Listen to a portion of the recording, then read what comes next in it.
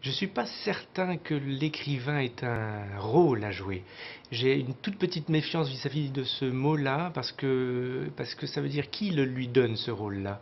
Est-ce que c'est la société? Or, je pense que l'écrivain, même s'il n'est pas dans sa vie forcément un, un rebelle ou un asocial, est juste un tout petit pas à côté. Il n'est pas là pour servir le monde, il n'est pas là pour servir la société. Alors, s'il n'a pas un rôle à jouer, en tout cas, ce qui est évident, c'est que ce qu'il déploie est, peut avoir euh, un intérêt profond.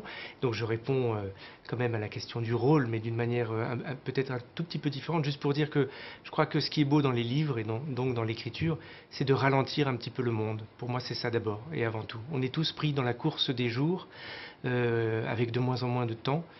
Ouvrir un livre, c'est d'abord ralentir, accepter de se poser, accepter de réfléchir, accepter de contempler.